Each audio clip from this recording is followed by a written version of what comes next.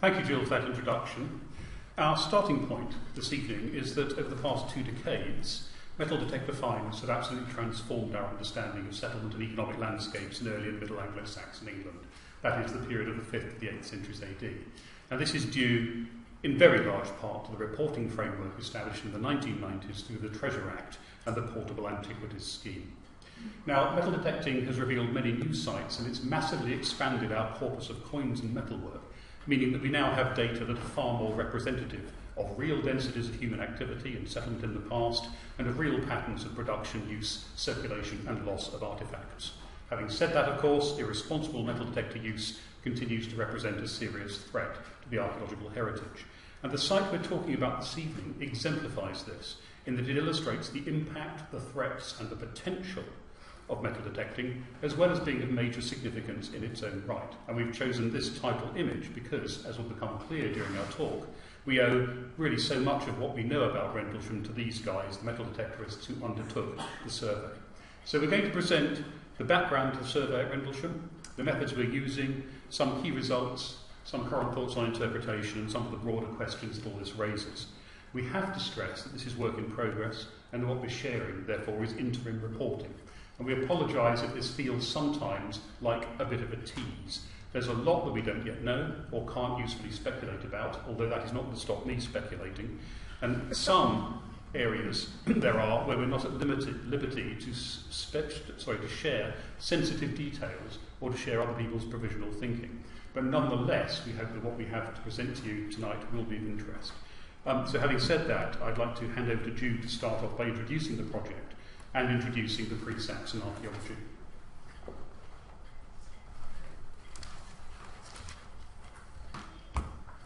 Thank you, Chris.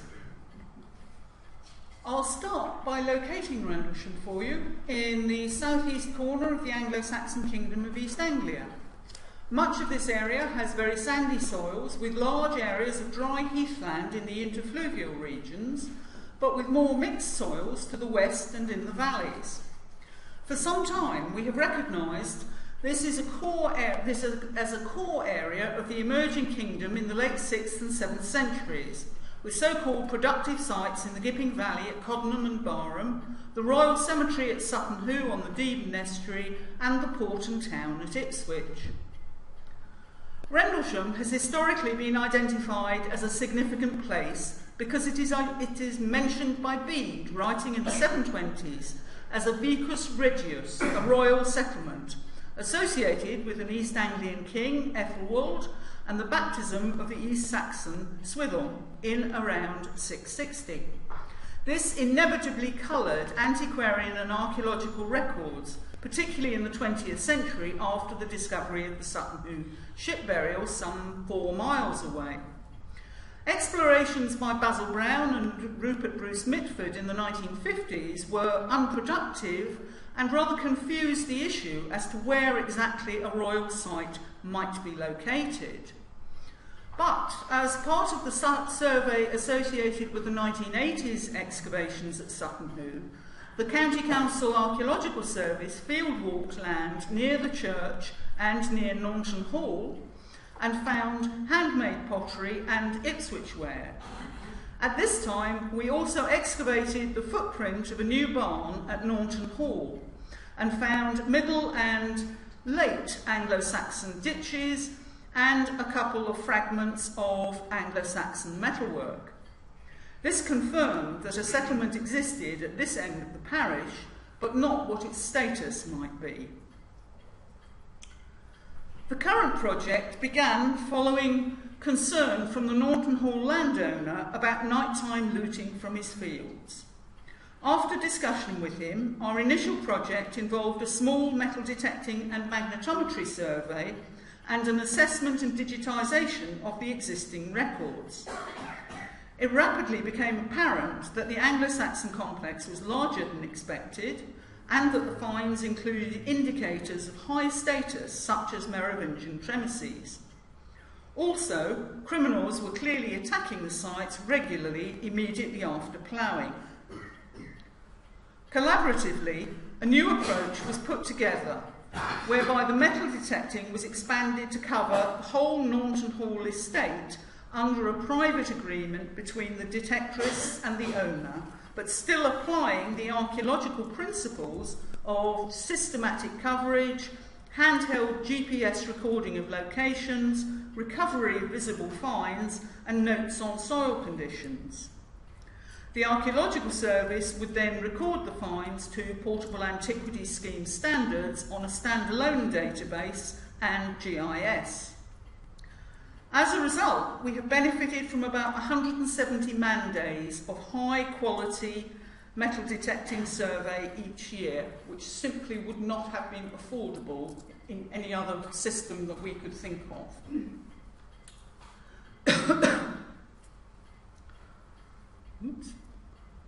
this was not an attempt to somehow sterilise the site to avoid criminal damage. The intention was to obtain a good representative sample of the plough soil material and, in the process, deter the criminals who have actually become very much less in evidence since the second year of the survey. We hope that there may be benefits in looking at using this approach elsewhere. Magnetometry also proved successful in the first season and was extended through the main Anglo-Saxon areas. This provided a good basis for small-scale testing of the below plough soil archaeology by excavation during 2013.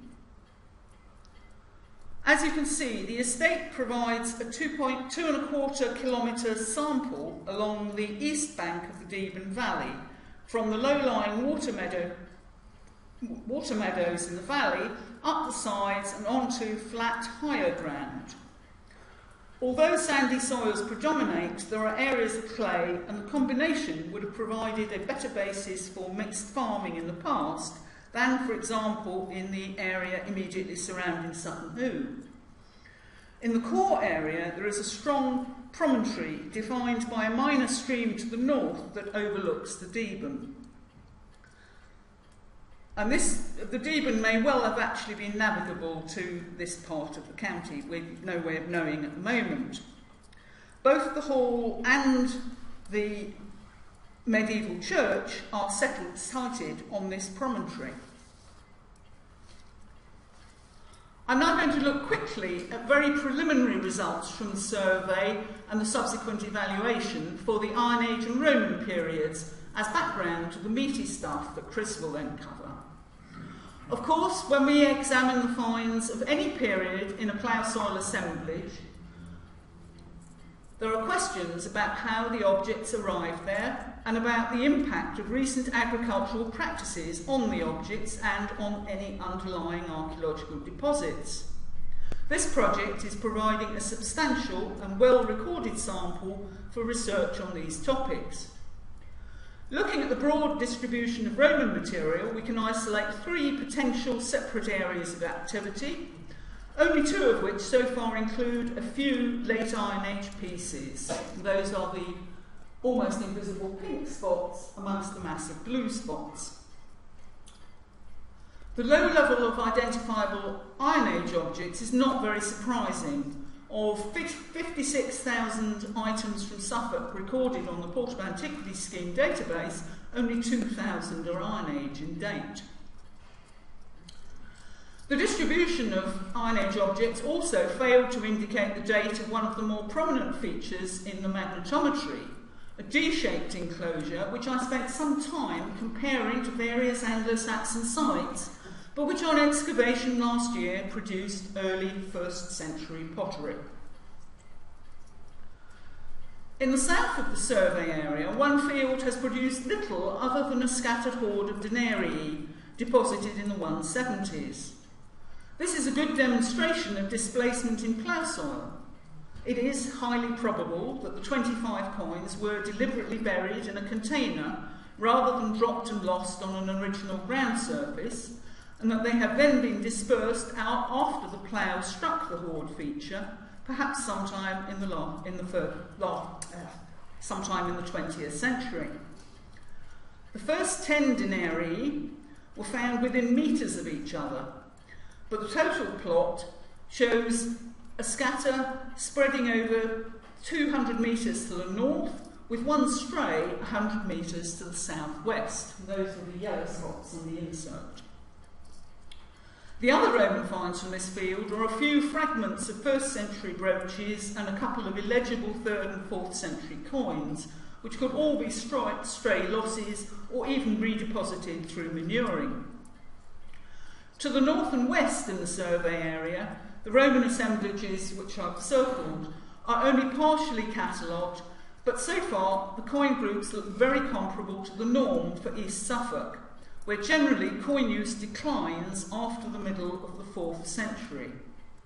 They have a typically rural profile of low coin use before the late 3rd century, and very few of, of them are silver.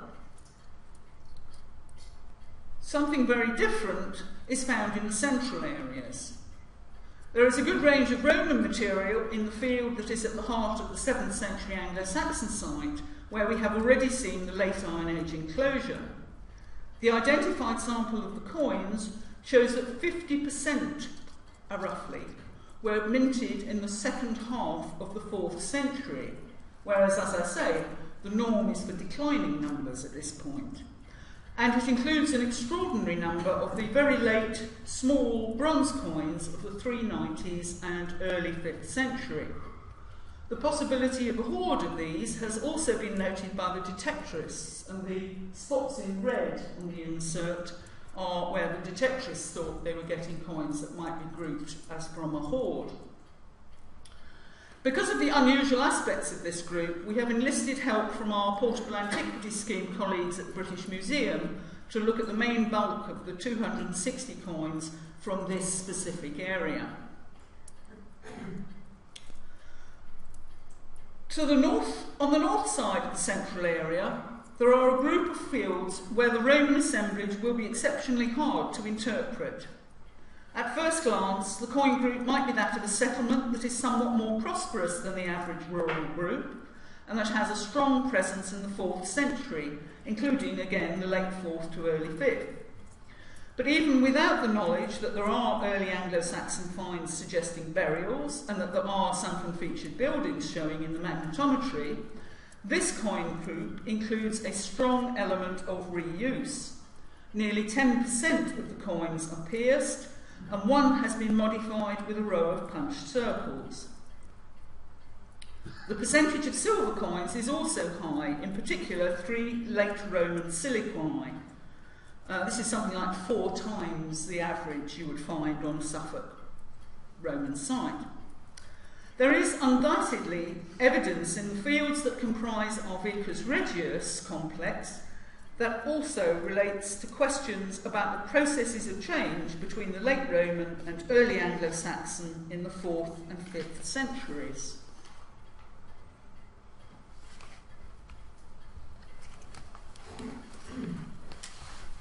Thank you for that, Jude. I'm now going to discuss the early medieval, that is the Anglo-Saxon material. I'm going to be concentrating on the period of the 5th to 8th centuries, but of course, we have evidence here for continuous activity through to the 11th century and indeed up to the present day. And I want to start by reiterating the point that when we situate Rendlesham within its regional geopolitical context, it is argued that this part of southeast Suffolk formed the core of the 7th century kingdom of the East Angles, or perhaps more properly, the territorial focus of royal power in the 7th century, an area sometimes termed the Sandlings province. This shows the distribution of all finds of the 5th to 11th centuries within the survey area, which is of course indicated by the fields outlined in red and, and hatched, sorry, and, and shaded. The majority of the finds are 5th to 8th century, but we've got 9th to 11th century activity attested by metalwork and pottery, and there is the main concentration which suggests activity over 40 to 50 hectares, and this concentration has material from the 5th century right through until the 11th. And our indications are that both settlement and burial take place here from the early to middle 5th century, and therefore, taken with the latest culturally Roman material, they may indicate that there is no break in activity here from the later 4th century onwards. This is a selection of the material that we believe indicates settlement or assemblies and gatherings at this place. In other words, material has been lost or discarded during everyday use. It includes dress accessories, as you can see, harness and weapon fittings, coins, almost certainly dropped during transactions, and tools such as, as this knife. Now, as Jude has said, there are a number of ways in which artifacts can come to be in the plough soil. And I just want to show two slides which illustrate very simply some of the complexities that we face in interpreting this. This first one shows the distribution of selected dress accessory types that might, of the 5th and 6th centuries, female dress accessories, that might be lost or discarded, but which are also routinely buried with the dead as grave goods, and so which could either come from settlements or from burials. The broad background distribution here suggests perhaps settlement and manuring, but we have two strong concentrations ringed on the, the plot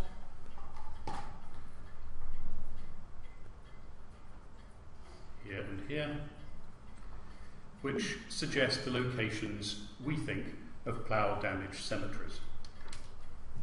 By contrast, a selected range of dress accessories of the 7th to 9th centuries, which are almost certainly not dress accessories because they belong to types dating to a period after the abandonment of furnished burial, probably show us the distribution of settlement activity during this period.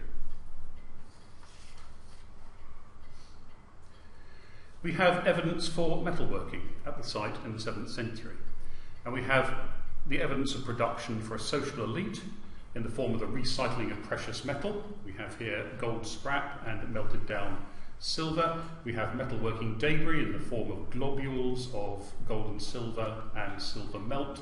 We have unfinished objects such as this incomplete, unfinished um, casting in a style 2 mount. And we have this lead model for a sword ring. This is the model from which the clay piece mould will be made, from which in turn the white metal or silver ring ornament itself will be manufactured that is then attached to the sword pommel.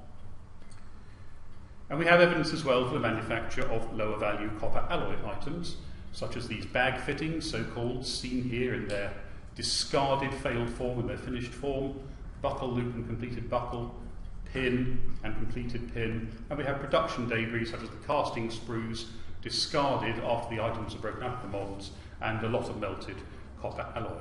Now, these sorts of items we think are certainly being used by the community at Rendlesham because we have so many finished examples of the settlement assemblies. But there are really quite large numbers of some items, such as these bag fittings, which are otherwise quite uncommon in the 7th century. They're uncommon 7th century types. And this raises a question as to whether there's production here that was serving a wider rural population. There is also a very strong, well, say a very strong concentration. There is a good concentration of production waste and failed castings in Parkfield here, which does suggest that we have a workshop area in this field. There is evidence for long distance contacts from the 6th century. Now, the presence in the early and middle 6th century of continental brooch types, such as those at the bottom of the slide, would normally be explained by their having moved with or on people, and would, would, normally be taken as indicative of social contacts, and because these are things that move on women, female dress accessories, they'd often be taken as indicative of exogamy or exogamic contacts. The presence in the late 6th and 7th centuries of continental gold coinage, East Mediterranean cast bronze vessels, and hanging bowls from Celtic Britain would normally be explained as a product of elite gift giving.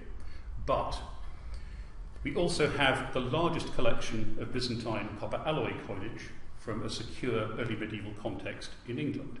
This is a tightly dated group, the late 6th to the early 7th centuries, identified by Sam Moorhead at the British Museum, and it must have come with packages of trade goods of the sort that included the cast bronze vessels in the Eastern Mediterranean. If found in a Western British context, this would almost certainly be taken as evidence for direct mercantile contacts, and I see no reason to suppose otherwise because it's found in Eastern England. So we feel that we have not just socially embedded elite gift exchange here, but also a degree of directed mercantile trade. There are a lot of gold coins. There are a lot of coins and a lot of gold coins from the site. And the earlier phase of coin loss from the mid to late 6th century to the later 7th century is dominated by continental gold coinages. There are, of course, no Anglo Saxon coins before the early 7th century, and there is, of course, a switch from a gold to a silver coinage in Francia and England around AD 670. Anyway, we have 25 early gold coins from the site, of which four are English. We also have 165 of the early silver pennies, known as sceattas, and the point to make here is that the distribution of finds is similar. The sceatta distribution intensifies and expands that of the distribution of the early gold finds. We're looking here at coin use and coin loss over the entire site. This is not something that can be explained as a disturbed hoard or hoards. And this is a large number of coins for a settlement site of this period, and there is an unusually high proportion of early gold, especially imported gold, as a proportion of the 6th to 8th century coin assemblage. And that can be illustrated by this slide, slide which shows the national background as culled from the early medieval coinage database curated by the Fitzwilliam Museum, shown on the left, and our Rendlesham 6th to 8th century coin assemblage on the right, where you can see that both the proportion of early gold and the constituent elements of the early gold run at about twice the national average. And this suggests both that Rendlesham was a place to which precious metal flowed, and that gold coinage may actually have been circulating as money rather than simply as precious metal, raw material for the jeweller, or as a form of portable iconography. And we have corroborative evidence for this because we've got coin weights marked with contemporary Byzantine denominations. We also have weight adapted coins, such as this tremissis, which has had a quarter coin soldered to it. We have cut coins, i.e., a half monetary unit. We have blanks and ingots, which may well have been used, valued by weight within the system, which use both coins and, and bullion. And we have evidence, possibly for counterfeiting, in the form of a silver gilt uh, copy of a contemporary tremissis. In other words, while it is generally accepted that the later silver sceatta coinage indicates monetization from the later 7th century, we think our evidence here is that the earlier gold was also circulating as part of a currency system. Now, gold coinage encapsulates the link between the concentration of wealth and long distance communication. These are contacts that can only be explained if this settlement served an elite social group. And the final confirmation that such a group was indeed living here from the early to middle 6th century, if not before, comes from high quality dress and harness fittings such as those shown on this slide. Here we are picking up on the ground at Rendlesham the detritus of the material culture circulating in an elite social milieu. These items were worn, used, and occasionally lost at Rendlesham by the people who deliberately chose to bury them with their dead kin at places like Sutton Hoo. And I've put this slide up to summarise the current consensus around the character and functions of higher status settlements, places like Yeavering and Drayton, in England in the later 6th and 7th centuries. And our archaeological indications are that what we have does indeed tally with Rendlesham being an important central place from the 5th century at least through to the 9th century, with a particular spike of activity from the 6th to the early 8th centuries. So we can envisage it as a taxation, administration, and collection centre for an extensive agricultural or farming hinterland. We can think of it as well as a periodic elite or royal residence. And following from this, we can think of it as an assembly place, for example, for judicial and military gatherings, and we can think of it as a special sort of economic centre where luxury trade was directed towards a wealthy elite or to their agents. The only element we don't have from our survey is clear evidence for major buildings. But anyway, so much for theorising from surface finds and from survey data. That can only take you so far. In order to firm up our understanding of the site, we needed to test our thinking against the actual buried archaeology. And as Jude has indicated, we did this by opening six evaluation trenches last October. Our excavation methods and trench locations were carefully chosen to give us best information about the site and the condition of the archaeology as a whole from a small sample. And our detailed objectives used, yeah, on which basis a number of organisations, including the site antiquaries, agreed to fund the exercise, as set out in this slide. Fundamentally, to characterise the subsurface archaeology as far as we could, to date key features that have been identified from the non intrusive work, to evaluate the condition of the buried deposits, and to try and begin to investigate the derivation of the material that was being found on the surface and in the plough soil. The areas, the areas that we examined were selected as representative of broader terrains or suites of features, and the red rectangles in the inset show the excuse me show the locations of our trenches. The trench locations were guided by geophysics. We excavated six 10 by 5 metre trenches to investigate anomalies on the geophysics plot, characterise them, date them, and assess their condition. It would be nicer to dig larger areas, it would be nicer to go for some blanks, but when you're working in this way, evaluatively, on a limited budget, we had to go for like, the positive reinforcement by, by testing known, known features. In field 44, finds and geophysics suggested settlement of burial evidence and gatherings or assemblies, so that's why we went there. And field 13 had major ditches and enclosures, was within the area of the 1982 field walking, and had the densest concentration of finds, which is why we went there. Now, we're now trying to sell the importance of a site on the basis of what is in the plough soil rather than under the plough soil. If you're going to intervene, you have to make absolutely damn sure that you're not going to machine away everything that's actually in the plough soil.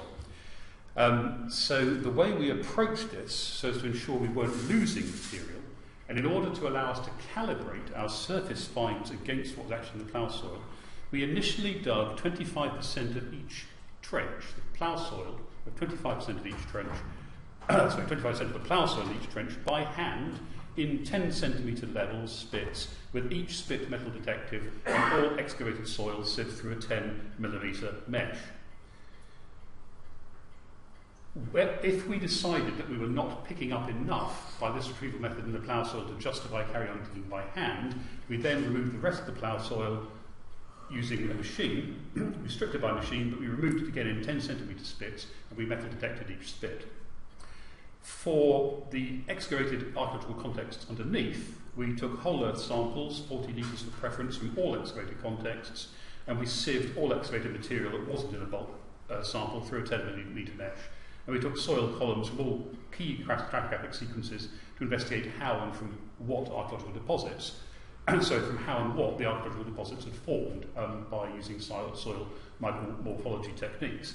So we think that our recovery of artifactual, artifactual and environmental evidence from the site um, will be pretty good, has been pretty good. Uh, the results in Trench 2 in Field 44, our anomaly proved to be an Anglo-Saxon Grubenhaus sunken featured building with which, which was in use in the late 5th or the earlier 6th centuries. And we know this because it had a lovely, tightly datable assemblage which included a very datable um, copper alloy small long brooch. To the east of this, in Trench 4 in the same field, the anomalies proved to be an Anglo-Saxon sunken featured building and an adjacent rubbish pit, in my view in use sometime between the late 6th century and the early 8th century. And of course, when we're excavating these Grubenhäuser, what we're actually excavating are the below ground traces of a building that is constructed over and around a pit, like a small cellar dug into the ground. These are not dwelling houses, we think, but storage buildings or working sheds. But where they are found, so there will almost always be larger ground level timber buildings whose foundations show only as post holes or foundation trenches, neither of which are easy to find with geophysics or with excavation unless you strip a large area. So the presence of Grubenhäuser here almost certainly indicates further larger ground level buildings, halls, dwelling houses, barns, and so forth. Our trench 3, to the north of the one I've just shown you, was located in an area where pottery and metal finds suggested burials. We only dug a small area of this trench, all by hand, because at the base of, base of the plough soil we found remains of Anglo-Saxon cremations which had been disturbed by ploughing. At that point we lifted the disturbed cremations and backfilled the trench, because you do not start digging Anglo-Saxon cemeteries unless you've got a lot of money and backup. And so our conclusions about trench uh, field 44 are that there is a strong possibility, in fact I would say a virtual certainty, that the scatters of discrete anomalies, these many acne-like blobs, all over the area on the geophysics are settlement features of the 5th to 8th centuries, that is, sunken feature buildings and pits, and that the entire field and beyond, at one time or another in this period, was a settlement area. And we can expect traces of timber halls here. Adjacent to this, there was a cemetery, which certainly had cremations, and where inhumations can be inferred from the finds in the plough soil. And the area also saw monetary transactions in gold and silver in the 7th and 8th centuries. in field 13, our trench 6 was located to find and test a major linear feature, principally to date it and to investigate the source of black material and animal bone in the plough soil. This is the ditch, the linear feature we're interested in. It's got a, another one here, so there's a big ditch sequence and there's some others associated with it.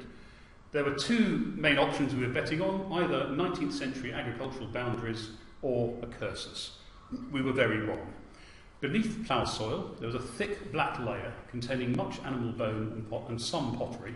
It's a midden or a waste dump, apparently containing an enormous amount of food and butchery waste. Pottery and other finds indicate that it is early to Middle Anglo Saxon, and the preliminary analysis indicates that there's a high status consumption signature here. And this is important because at other Middle Anglo-Saxon sites in the region, at Brandon, Wicken Bonhunt, Bloodmoor Hill, for example, these middens are close to the major buildings of the settlement. In other words, it's an indication that there are probably major buildings of the settlement quite close by.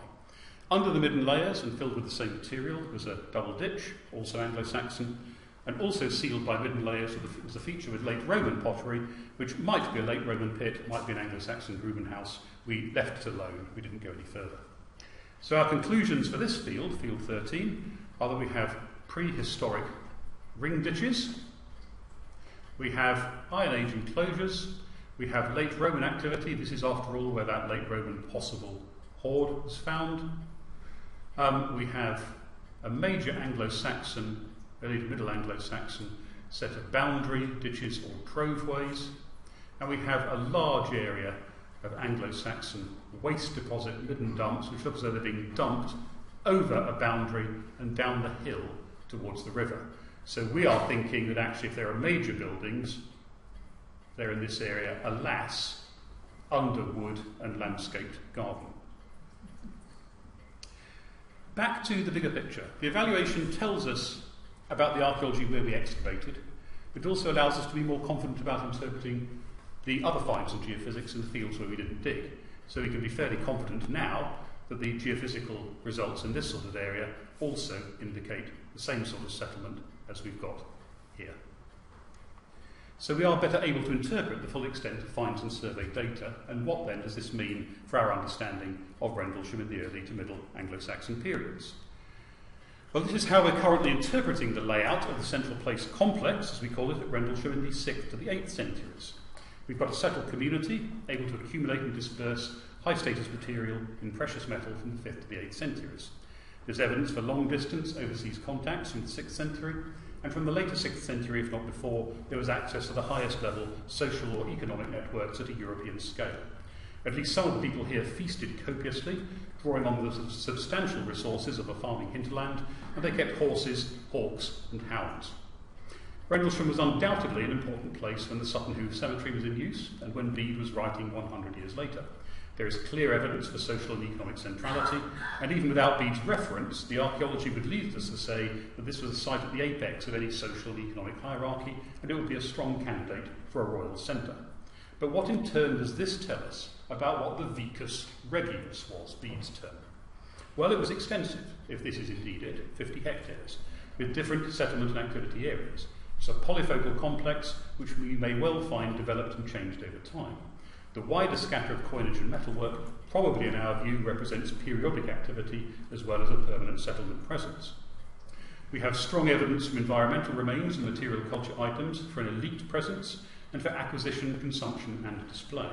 We also have evidence for less exalted population, for monetary transactions, and craft production. We do not think that this is primarily a market or a trading site, but it may periodically served as such.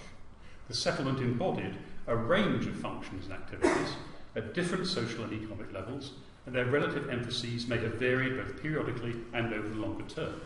And so our interpretation is that this was a farm and a residence and a tribute centre where the land's wealth was collected and, redi- and redirected, and where major administrative payments were made and important social and jurisdictional events were transacted.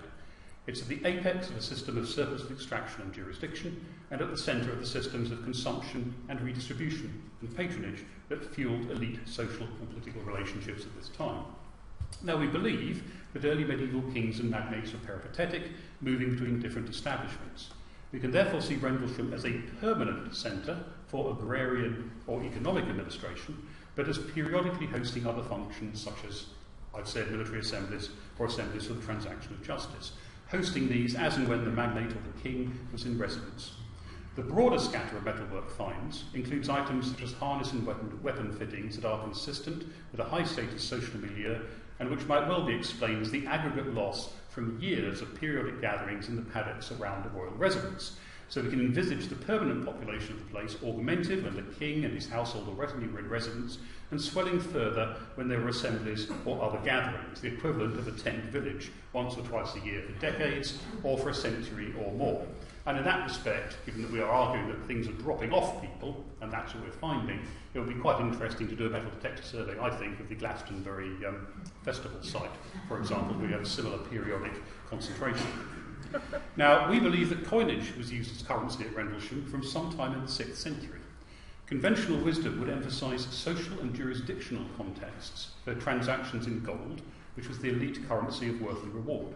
And I do wonder if any of the coins we have found were part of a donative on the occasion of Swithhelm's baptism. It would, though, be foolish, I think, to deny the possibility that commercial transactions might be represented in the earlier gold phases of coin use at Rendlesham. A permanent administrative function, periodic presence of a royal household, periodic assemblies of the social elite would all act as powerful magnets for directed trade and might very likely foster and sustain a market or fair, periodic market or fair. Something was given in return for Frankish gold and Byzantine imports, and products of a dominial farming and craft production surplus might be part of the answer. Now, conversely, the later and lower value silver coins are usually seen as indicative of an increasingly monetized market economy. But by the same token, I think we have to envisage their use also in jurisdictional and administrative payments.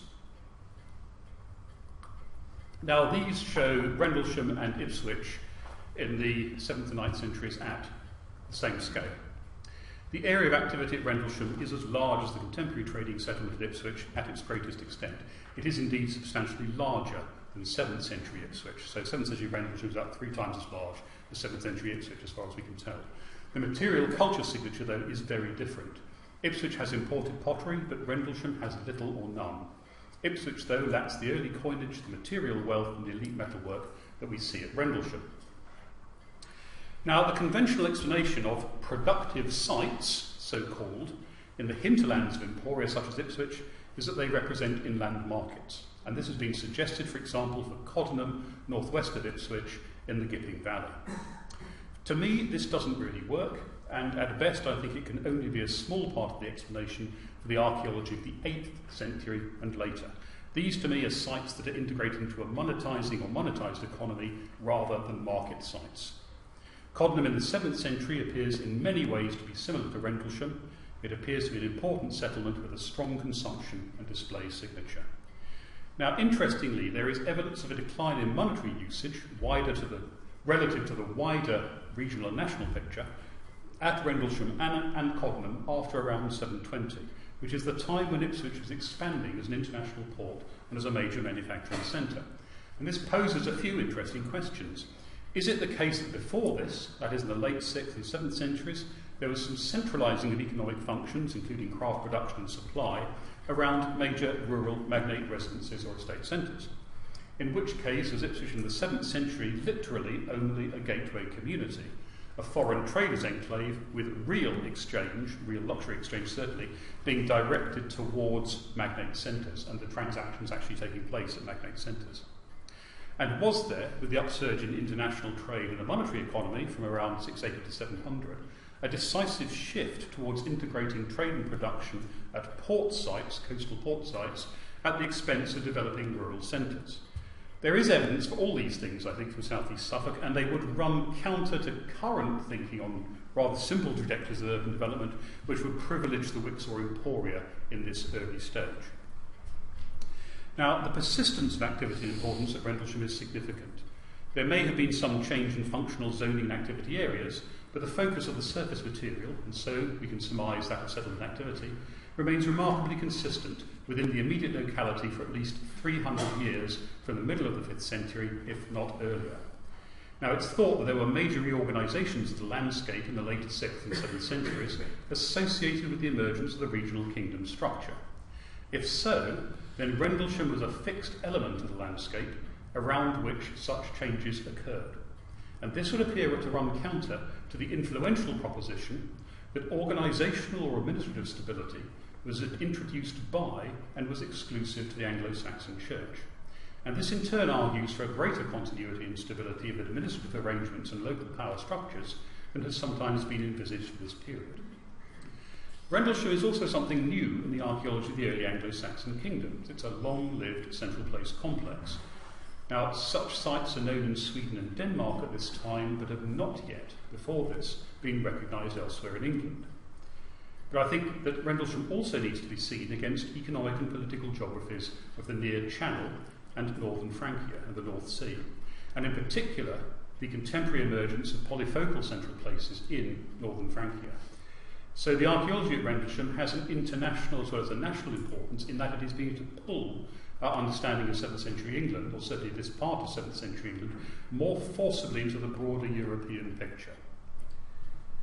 Now, it's one of a handful of high status sites of the early and Middle Anglo Saxon periods which can be securely identified in contemporary documentary sources, and is the only one of this small group which there's such abundant, sensitive, and precise material culture data. At Yeavering in Northumberland, for example, we famously have the excavated buildings, but virtually no finds. Consequently, there is high potential here to establish the cultural signature of a 7th century vicus regius and to elucidate its spatial organisation and social and economic character. And because its status is documented, and we actually have in the ground the material culture assemblage associated with the period for which its, its status is documented, we have potential here to calibrate other sites known primarily from surface finds, plough soil assemblages or so-called productive sites, to calibrate these against Rendlesham as some form of tentative social and economic benchmark. And because all periods, from prehistory to the modern, are represented in the archaeology at Rendlesham, there is tremendous potential here to examine not only how settlement and activity changed across the period that saw the emergence of the documented East Anglian kingdom, but also to put this into a much longer sequence of development. So, we've identified a long-lived polyfocal central place that is an order of magnitude larger than most other known contemporary rural settlements, that shows an unexpectedly early and sophisticated degree of monetary circulation and integration with long-distance exchange networks, which in turn implies enduring and robust economic and administrative geographies that underpin social hierarchy and elite consumption, and a site that may show signs of early centralising crop production. This presents a series of challenges to received views of economy and society in southeast England in the 6th and 7th centuries. We don't by any means have all the answers to the questions that this site is posing, but we're going to have an awful lot of fun over the next few years trying to answer them. Now, as we've said, the project is still underway. Our next steps over the coming year are fundamentally to complete a formal assessment of the evaluation and proceed to analysis of publication, to pull together the management implications of our results and develop a programme of analysis, for the research and publication for the product, project as a whole. As Jude has mentioned, there is an exhibition at the National Trust Visitor Centre at Sutton Hoo and a chance to see a selection of finds from Rendlesham, um, which closes, its final weekend is the 1st and 2nd of November um, this year. And then finally, the point which we must make is this is a collaborative effort and we have to acknowledge with thanks everyone who's been involved. In particular, Roy Allen, Robin Terry for the metal detecting survey, Faye Minter, our colleague in managing and running the project, who's done the fines coordination, the landowner and their farmer, and the farmer for their active support and encouragement, which is not always forthcoming in other cases, all the funding bodies and organisations that have given support, and the many colleagues who have given their time to the project at no cost or as volunteers because they recognise the importance of the archaeology. This is their work. There's still a lot to do, and our interpretations will, of course, develop as work proceeds, but we are confident about the outline we've presented here tonight, and we're confident about the importance of the archaeology at Rendlesham. Thank you for your attention.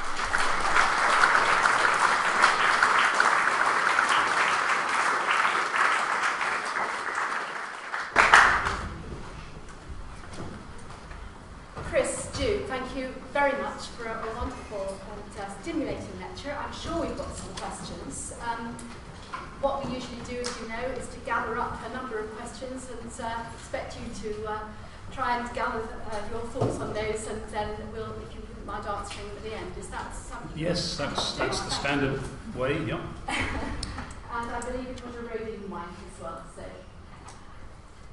do I have any questions? I can't believe it. Justin. You showed us some evidence for non-ferrous metalworking, which is most interesting, certainly for the Saxon period, because there's relatively little known, especially for the earlier periods. I was wondering if there was any evidence for ironworking. I know those finds aren't as easily metal detected, but that's, I think, my question for you. Lovely, yeah. Leslie. I uh, fascinating, of course. Um, uh, you mentioned the church right at the very beginning, dedicated to Gregory. I suspect that's quite an unusual dedication. Um, do you have any thoughts as yet about how that church or its predecessors might relate to the site? As you can see, on this model, which I put up with an elephant trap, which nobody here has fallen into, which is the cult centre, that is the church, because every migration period complex, central place complex, has to have a cult centre. Sorry, I'm answering, aren't I? You are. Yes. Apologies, I'll come back to that. I, I do, I do, I do apologise for that. we like enthusiasm. Um, John. Thank you very much indeed. this is going to be. Sorry, am I on? There. Um, one of the awful things where one wants to sort of make a point and tries to put it into the form of a question. Um, in fact, as I look across the range of material here, what stands out for me as most unusual is perhaps relatively humble. It's not the bag fittings, but it is a collection of Byzantine um, bronze coins um, that have come up from here. They are, as you said, familiar in the, in the west of Britain. To the best of my knowledge, they are very unusual indeed, if not unique, on um, Anglo-Saxon sites. So I would be interested to um, hear how far your research has gone into uh, looking for parallels to their presence on Anglo-Saxon sites, um, and really to ask you to think more about the um, the degree to which they can be fitted into a model of, of a monetized site. These would be very, very small change indeed compared to the silver and gold um, that is otherwise being used there, I would have thought.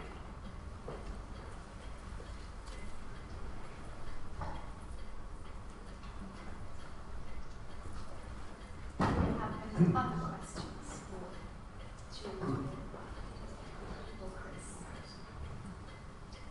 You've stunned us all. Well, would you?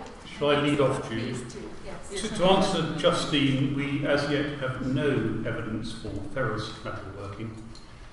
Um, we do have bulk samples which are being screened and tested for every sort of environmental and artifactual evidence. We do not yet have any evidence for splitting or other forms of ferrous metal working on the site. I would expect to find it if we dug the entire 50 hectares, it's there somewhere. But as yet, we don't have it. Leslie, the, the church, I started on the church. It sits within the scatter of 5th to 8th century metalworking, so 5th to 8th century material culture. It's pretty much on the edges of the real central core of what we think the activity in settlement area is. It is a 13th to 14th century building, and there is no record of there being an earlier church on the site. But the fact of the dedication and the fact that it is close to a major Middle Saxon site does suggest that there ought to be. So it is very credible that there is something much earlier there.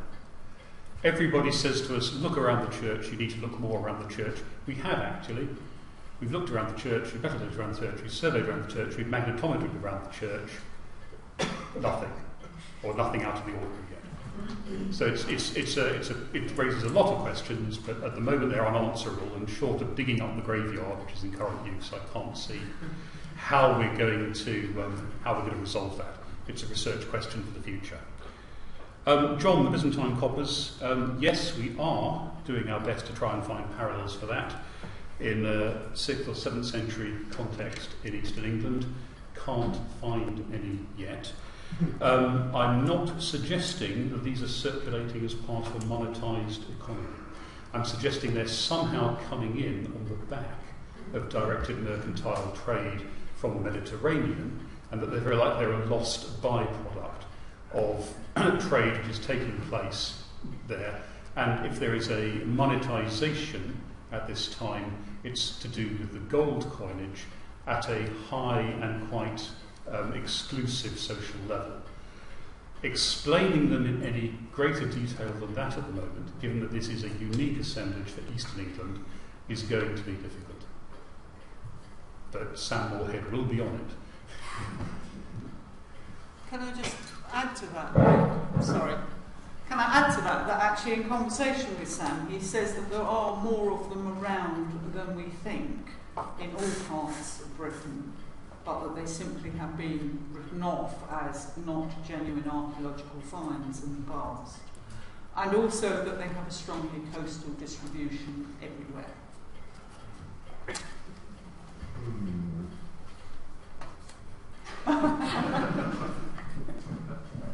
I've no interesting on Byzantine coinage in Britain. However, Cécile Morrisson's magist- magisterial work appears shortly on that subject.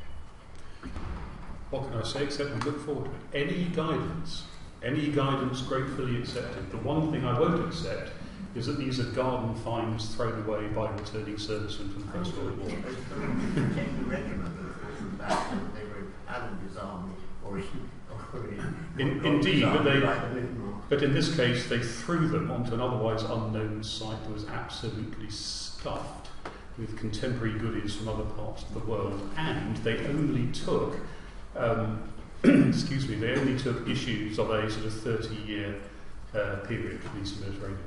So I, I- find it difficult to accept that they are they're garden Well, that's because after Heraclius there's a terrific decline in the availability of Byzantine bronze coinage I- until you get the anonymous folles in the 8th, 8th century. I, I hear what you're saying, John, but they're I hear what you're saying means you don't believe it. I, Well, I think maybe this debate can go on later. Um, I should like to thank you both very much indeed. I found it an immensely stimulating um, lecture, and uh, I'm sure we, sure we all did. Uh, I think it's really great that we have um, talks like this where the evidence is so fresh. I certainly didn't know very much about this site, and I think that's exactly what we should be having here new evidence fresh from the field. Uh, and uh, that uh, can stimulate debate, which is which is excellent. And I'm very glad you came. So Sorry? can I say new evidence fresh from the field in excavations funded by the society? Well. Yes, indeed.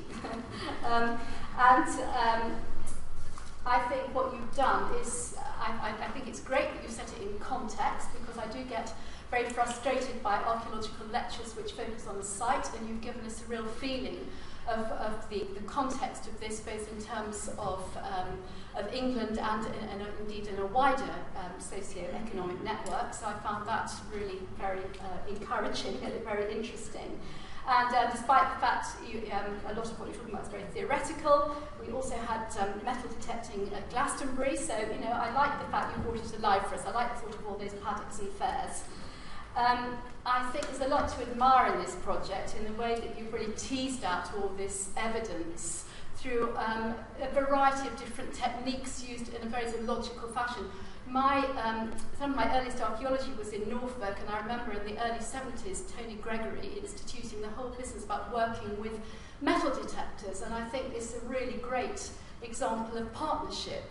Um, you know, clearly you've got a lot of people involved in this project, both in terms of professionals and uh, volunteers, uh, and, and indeed and indeed metal detectors, which is, is terrific. Um, and, uh, and also, as you said, the funding from the Society of Antiquaries. you've clearly got a lot of other funders involved, and I think it's a really great example um, of an archaeological project that's produced really interesting new evidence using a battery of different funding, different people, different techniques, and um, yeah, I really commend you for, for the work you've done. Thank you very much indeed.